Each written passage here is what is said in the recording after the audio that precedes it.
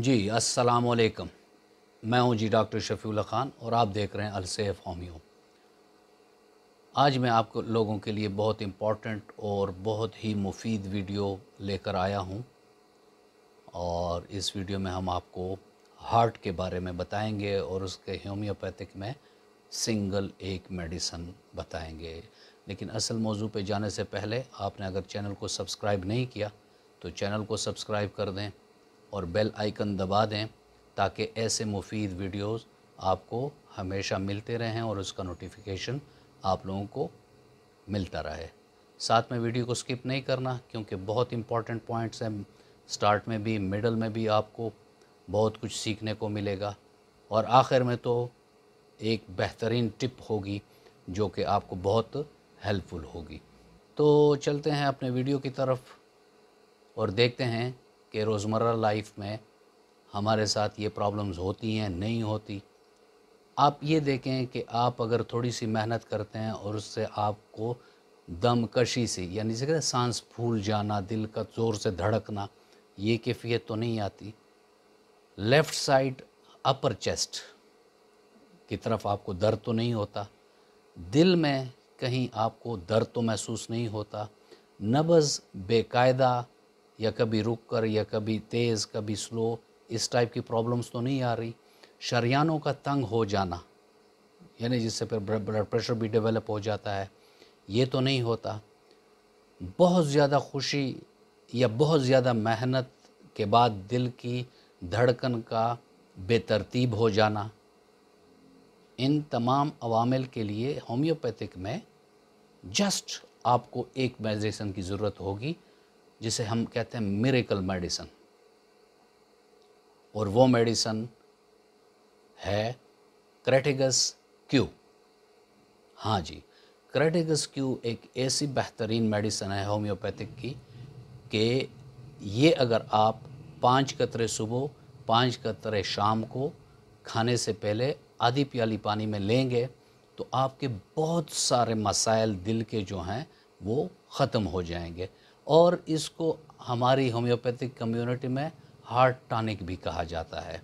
क्योंकि अगर एक बंदा वैसे ही दिल की कमज़ोरी महसूस कर रहा है और ये महीने में हफ़्ता आठ दिन ले ले तो उसकी वो दिल की कमज़ोरी ख़त्म हो जाती है। और दूसरी बात यह है कि क्रिटिकस सेफ़ मेडिसन है।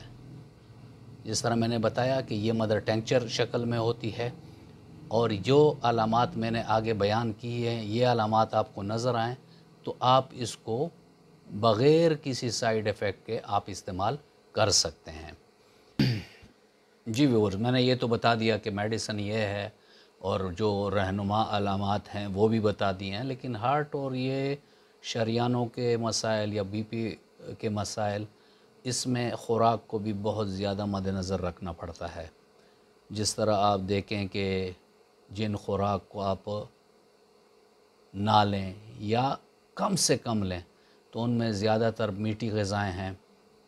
नमक का बेतहाशा इस्तेमाल है और सेचूरेटेड फैट्स हैं। तो ऐसी गज़ाएँ आप ना लें जिसमें ये तीन चीज़ें मेजरली हों, क्योंकि ये हार्ट प्रॉब्लम को इन्हांस करता है, ज़्यादा करता है। इन चीज़ों से बचें और इसके बारे में अगर आपको डिटेल वो होगा तो वो मैं डिस्क्रिप्शन में नीचे लिंक दे दूँगा, फिर वो आप देख लें। कि हार्ट के पेशेंट क्या ज़्यादा ले सकते हैं और क्या नहीं ले सकते। दूसरी जो मैंने आपसे बात की कि आखिर में मैं आपको एक टिप दूँगा, जो मैंने अपने काफ़ी मरीज़ों में यूज़ किया और अल्हम्दुलिल्लाह उसके एक्सीलेंट रिज़ल्ट आए हैं तो वो टिप जो है, वो ये है कि रोज़ाना सुबह नहार एक सेब लेना है नाश्ते से पहले, ठीक है, डेली लेना है। और साथ में दोपहर के खाने में घर में बता दें कि आपके लिए उसमें थ्री केसेस ऑफ़ गार्लिक यानी उसके तीन काशें आपने गार्लिक की, या जिसे थोम कहते हैं या लहसुन कहते हैं, ये आपके लिए जब वो सालन तैयार करें तो वो बीच में वो भी पका लिया करें और आपके लिए अलग रख दिया करें। तो जब आप आधा खाना खा लें तो बीच में वो एक निवाले के साथ लेकर बाकी आधा खाना भी आप ले लें। तो इससे ये फ़ायदा होगा कि खाने के बीच से ये कोई आपको गैस्ट्रिक अपसेट नहीं देगा।